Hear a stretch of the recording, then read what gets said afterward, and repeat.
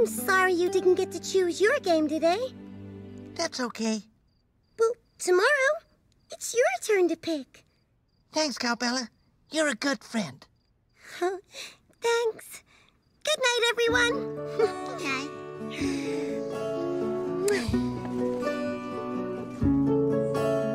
The earth is spinning, slowly spinning. The stars and moon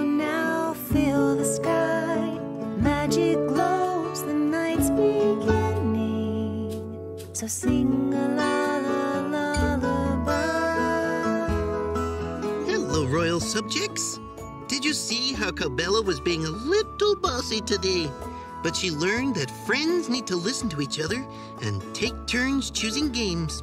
That's how friends live happily ever after. Goodbye now.